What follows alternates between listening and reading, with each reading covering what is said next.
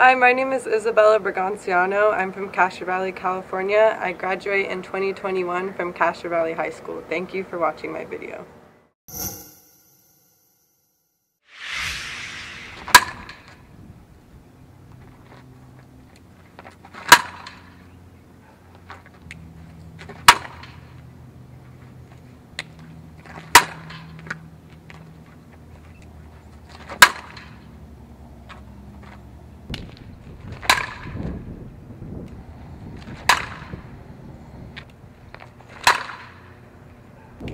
ハハハハ!